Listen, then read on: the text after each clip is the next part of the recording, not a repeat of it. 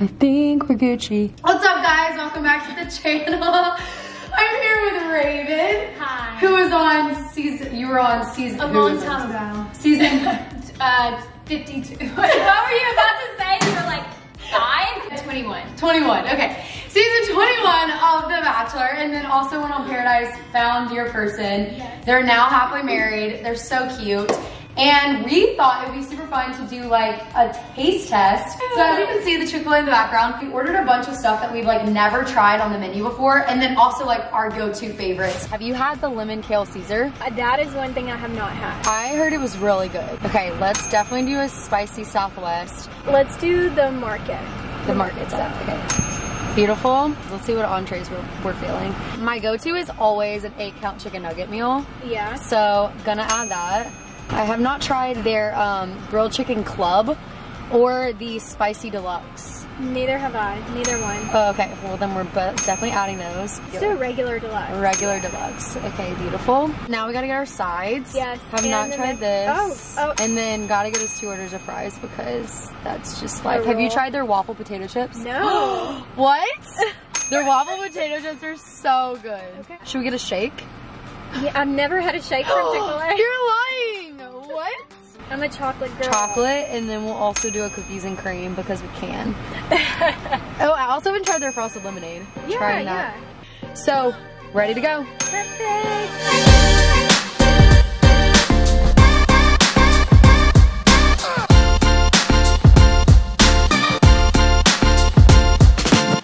Look at all of this food. We're ready, we're excited. We have, we're not really strangers. We have the breakup edition. We have the relationship expansion pack. And we have the self-reflection edition. And let's start with relationships. Yeah, yeah, let's Should we start with start the relationships hack? We sat in the car for like an hour and a half and she just like encouraged me with all my relationship problems. So Yes. Raven's got the wisdom.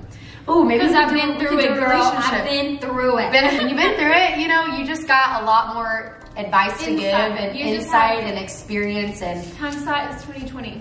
okay should we start with the salad or should we start with our um, go-to's first Well, I started with the fries. okay we'll start with the fries but you No, have to fine. also try the chips too we're gonna save our salads for last I feel like by the time we get to our salad, we're like not gonna be hungry Yeah. so that's pretty much why I wanted to not do the salad first I'm gonna start with this one the spicy deluxe Okay. that sounds so good what was the first thing you noticed about me First thing I noticed about you? yeah Oh, that's a great question. right Probably, this sounds so conceited. This sounds so conceited, but that you had long, beautiful hair. And I love long hair, obviously, I have long hair. and people were comparing us a lot in the beginning. I noticed that. When your composite picture came out. Mm. And so I was like, immediately already liked you because people were saying that. yeah, you're like, we look alike, so I like her. Yeah. A lot of people on the show too was like, you look so much like Raven. I, I think it's the long hair, you know, and I guess we- the locks. We can have a little bit of like the same demeanor a little bit. Yeah, yeah. And I think we kind of have like the same perspective in a lot of things too. Yes, yep, agreed. Watching you, I just thought you were so poised and like you knew what you wanted and you weren't gonna back down. I really love that, respected that. and then meeting you in person for the first time, your eyes are just so striking. Thanks. Like not to make it super physical, but your eyes are just like, Okay, this is so good. Here you go. it says, finish this sentence. Thank you for accepting. My okay, let's let's make this like juicier though. Let's say Mm, you're okay. talking to your future soulmate. What would you say to him? Thank you for accepting what about you? Mm. Oh, I, I already know immediately. I would say thank you for accepting how strong-willed and stubborn and confident that I am because I think that that can be like really intimidating to some people. Yes. Some guys are like, I don't know what to do with that. It either like intimidates someone or it inspires someone. Yes. And it like makes a guy like want to be like, oh, I want to leave this girl. Like that's so cool. I feel like that's so gonna happen for you. Mm-hmm. Um, this is really good, by the way. oh, have I helped you change your mind about anything? Yes. I knew immediately what it was, and I was like, I don't know if she can say it out loud. I just poured my guts out to you. She really opened up to me about something and I gave her advice. And she told, and it was kind of what I said to you today. She was like, "You already know what you need to do," Mm-hmm. and I did it. And she did Now it. you- and now, now you gotta do it. now I gotta do it. What is your perfect date night? If you could do Mm. anything, what's your perfect date night? I would say something outdoors. Like I love an activity also paired with like a good dinner. Me too. Go mini golf or go like do something fun like that. But I would say like perfect date would probably be we go to the beach, we get on a boat and we're just like cruising. We're having amazing conversation. We're singing amazing food and it's just like Good like, company. good vibes all around. And then like we're out there till sunset. We come back, we dock the boat, and it's like stargazing outside, and we're just like laying on the boat like stargazing. Do you kiss on the first date? No. Okay, so it's just like a little preview of what a romantic yeah. little kiss could be. I just think there's something so special about leaving somebody wanting more. And the first one is like, oh my gosh, that was amazing, you know? I think you read the room, but like, I don't like it. Well, I dated a guy, did not kiss him for six months. What? And Madi, I was thinking the same thing. I'm like, why won't he kiss me? And then it was New Year's Eve, and I was like, oh my gosh. And he waited till New Year's Eve. Oh my gosh, it wasn't like the most romantic It was thing. so, yeah, it was romantic, but uh, Adam and I did not wait to have our first kiss. then, oh, I haven't really that one. this is an amazing question for you. Oh. What goal would you feel best for you to accomplish this year, and how can I support you as a friend in that? Oh, I love that question. That is an awesome question. I would say the greatest way that you could just like champion me is just like checking in every now and then. Us having like days like this where it's like fun, but Yeah. also like we're challenging each other. And just like the constant prayer. But I, I think like for me, I just really struggle with like being vulnerable and opening up. Like I'm so bad at that. And I just have like major trust issues. Yeah. No, I understand. I'm so used to being like that person That that, people I that go people to. go to. Yes. So I feel like that's always been my role, and I feel like the, over the past like few years, the Lord has just like really blessed me with some amazing people, and it's Sorry. like. okay, I gotta get your response on the chips. Oh, okay. This Okay, is like with, with like a sandwich or like you know, it's no, like, no, no. it This slaps. is this slaps, but it's like not what I expected. Really? It's kind of like thicker. yeah, yeah, yeah. I don't know, but It's thicker. It's yeah, it's good, and it's like waffle shaped, like Mhm. the. so you literally feel like you're eating like a dry Chick Fil A waffle fry. No, I like that. Mm-hmm. They're really good. For me, I've learned not like to crave necessarily like alone time so much as to crave like rest. Yeah. And like rest can be done in like, yes, like value the private and alone moments, like especially with the Lord. But rest can be accomplished like in good community. Yes. And like in time where you're going to church together, you're worshiping together, or you're just Being having refueled. Yes. When you confide into people, just how you were saying, it feels like a weakness that you're Yeah. confiding in people Oh, yeah. because it takes the burden off of you a little bit when you tell others. Because when you were telling me about your burden, I'm like, girl, You're it's not a burden. you're not in a burden. You're in a growing season. This is Yeah. beautiful. This is Yeah. amazing. Like you're on the right track. Right. Like you're you're so good. So like And it took you back. It took you back to like Oh. when you were in those moments too. Yeah. Of like, so I was opening up to her about just like relationships, which is kind of what we're talking about right now, but just relationships and how hard it is sometimes. And this is what she was saying to me because she remembers like being here, but like when your heart is ready to like be a wife, but you're still like in a season of like growing and like growing in contentment and singleness.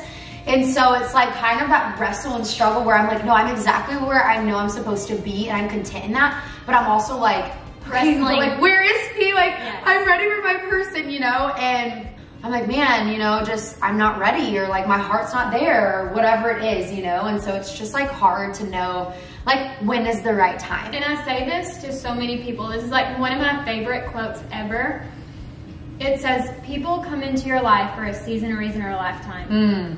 And that is so true. And you can, and it's harder to see what person fits in those categories until you get some time under your belt. Mhm. And you're like, oh, I totally see this person was here to teach me this Right. for a season. Or this person was in my That's life so true. this for a reason. Yeah. And then you meet your lifetime person and it was all to prepare you Mm. for your lifetime. Anyway, No, I love that. You can't take it as like rejection or as like necessarily like, oh, this closed door is such a bad thing, but like seeing it as like this is redirection for God's best.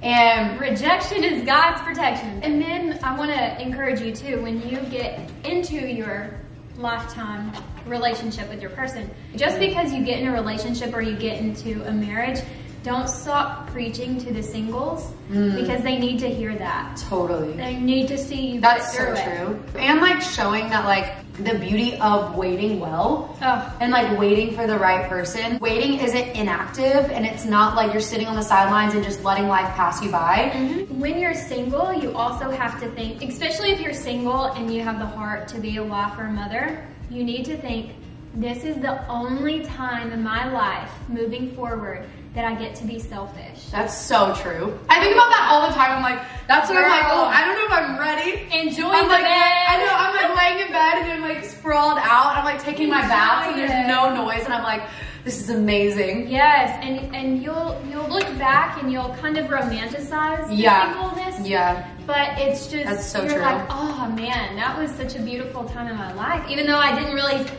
take it for Even though you were like so like ready for the next season. No, that's Yeah, so true. yeah. Oh, I have to try. Yeah, I haven't try tried the the mac mac and and cheese. cheese Try the from and Chick Fil A yet. Thoughts? Pretty good. Okay, you don't like it. No, it's pretty good. It's not like my favorite mac and cheese ever. I don't know. Maybe I would have liked it if it was like right out of the oven. They brought it to me Yeah. a little I mean- bit better. I make the best. You make good mac and cheese. The Are you like a really good cook, or do you cook for your mom? Mm, I'm a southern cook. So That's how I am. anything I I'm like, I can make some chicken, um, some green beans. I'm like, I even know how to make beignets. Have you ever tried beignets? Yes. Oh my gosh, I can make some good beignets. I've never made one, but oh my gosh, that sounds great. Oh, it's so good. Okay, I also have not tried the grilled chicken club. Oh, Oh. Yeah, well, you try that. I'm gonna try the regular schmegular deluxe. Okay. Good. Not bad. But this is not my favorite thing. Like, if I, I'm just not gonna come to Chick Fil A and ask for a grilled chicken sandwich. You know what I mean? Yeah, It just doesn't feel like I'm having Chick Fil A. Um. Okay, this is good. I need you to try the Polynesian. She's never had Polynesian sauce. I want you to try it with one of your nuggets. Oh. Yeah, girl, get that thickness. Witness That's a lot. I thickness. should. I should have. I should have. I should have just dabbled it in there. I'm curious to see what you think. Dun, dun, dun. No? You like it? It's interesting. Like you got you gotta like let it marinate a little bit. I don't You know. like it? Is it like taste like kind of like an Asian sauce almost? Yeah. Well, it's Polynesian. I don't eat Asian food Okay. ever. Well, this probably is not for you then. Okay, now let's move on. Should we do the self-reflection ones? Yeah, sure. What am I wearing when I have the best time? And what do I and what would I always regret wearing? I think you have a great time when you are, I don't know, I see you in like a little sundress sneaker moment. Okay. And Fair. then when you're having a terrible time is like when you're wearing really tight skinny jeans and really high heels and you're wearing off the shoulder and it's Oh. just like uncomfortable. Did you see the um, episode on The Bachelor when we had been standing there for so long that they caught me at the very end, like during the rose ceremony, sitting on the ground with my feet out? I was so over the heels. Like I was like, and I couldn't take them off, so I was like, I'm just gonna sit down. I just feel like you're gonna be wearing like a sundress and sneakers when you have that like blown away date. That's true. okay. Every time a guy asks me out, I'm, I'm on a sundress and sneakers. I'm gonna be like, Raven, okay, this wasn't it. This If wasn't you're it. if you're on Instagram and people see you in a sundress and sneakers, they're gonna be like, But I also have a lot. I have a lot of sundresses. I love. I love. And you have a lot of sneakers. And I have a lot of sneakers. A lot of- Okay, good answers. What is this one? Oh, this is the Southwest salad. yeah. I didn't put dressing on that side, so you should be okay. Oh. It's good, right? Mm-hmm. Now we're gonna dive into our milkshakes. Do you need help? Girl, I see the Ben and Jerry's in here. I know. I can't get it out. no, this tastes like vanilla. It must be like they must have put some vanilla in the. oh. Yeah, this isn't a good picture of what it would be like to just order a milkshake at Chick Fil A. Is it good? Yeah. Uh, I love chocolate Mm. milkshakes. Okay, what's become more important to you recently than ever before? Mmm. the thing that's become most important to me recently, like over the last like year, I mean, I've always valued this, but now to like a whole different level of just like really valuing like my private and alone time. Because Yes. I feel like that is who you're gonna be when like everyone's around. And so it's so important to like know who you are when it is just like you and the Lord and like just you by yourself and like knowing yourself well, knowing your relationship with God well. Yes. It's very easy to like burn out and like feel like, oh my gosh, I have nothing left to give. And I feel like those like private alone moments with the Lord are what like refuels me and like gives me what I need to be able to do what He's called me to do. Yes. And then just like the importance of like life-giving community. The importance of having like really awesome people around you and like To how much of a refill- difference. Yes. Refuel you. Because Yeah. that makes such a difference. For me, like I have to be around people like just to feel inspired and challenged and to be pushed and all of that. And it's something I've just continued to pray for is just like, Lord, like help me find that life-giving community and put me in the environments where I'm gonna find those kinds of people. Also know when the spotlight's on you and you are alone, or just say if it was all taken away tomorrow, how would you feel? And you're just alone Mm-hmm. Who by would you be? yourself. At the end of the day, if all that's gone, what do you have? you know? Exactly. Cheers. Okay. Cheers This milkshake milkshake. is good. Milkshake brings it up. Okay. okay, what's something mean that was said to me in my childhood that I carry to this day?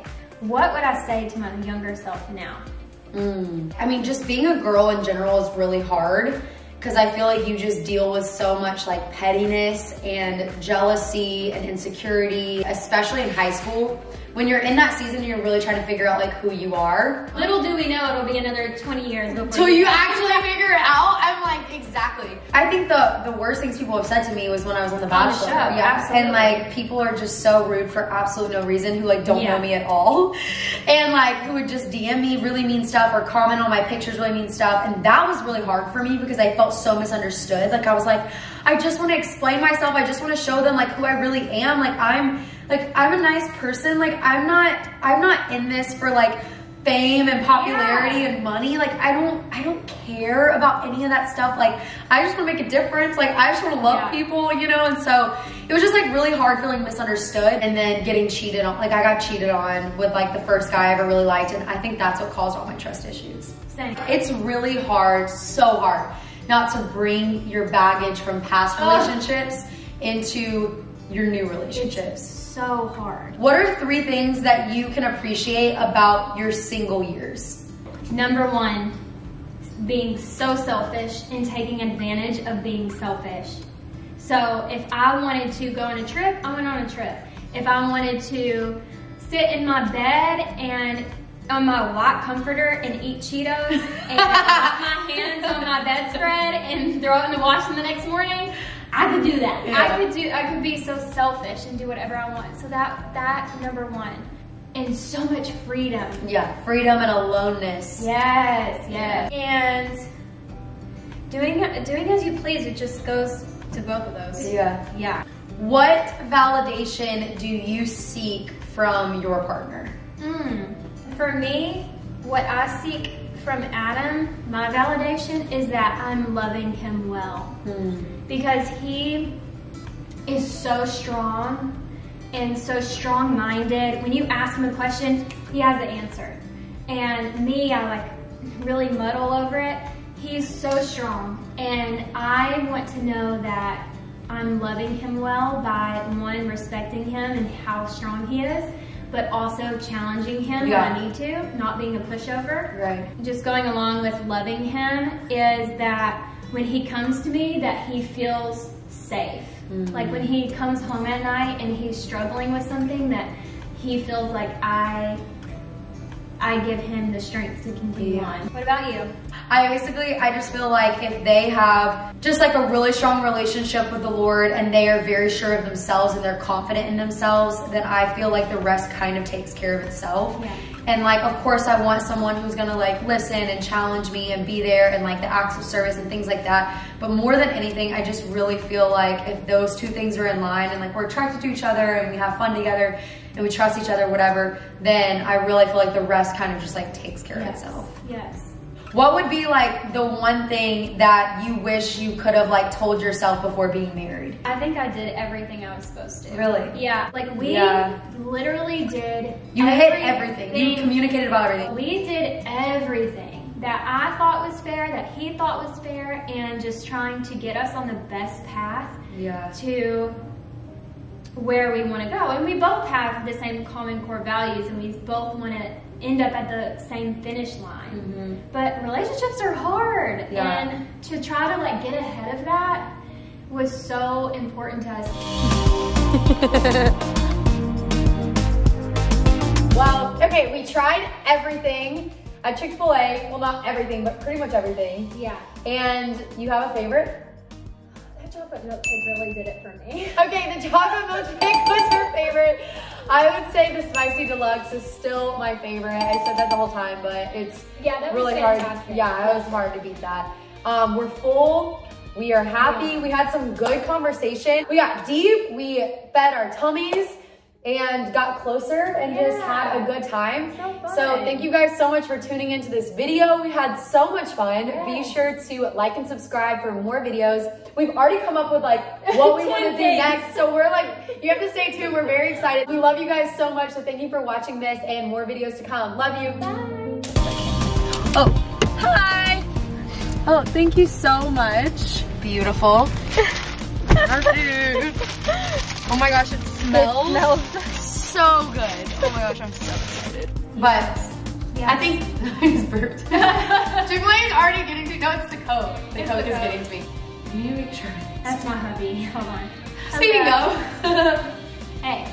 Oh snap. Okay, well we're still filming, but yeah, I can meet you there. Oh, we can wrap up. We'll wrap up. We'll wrap up right now. Fry to go.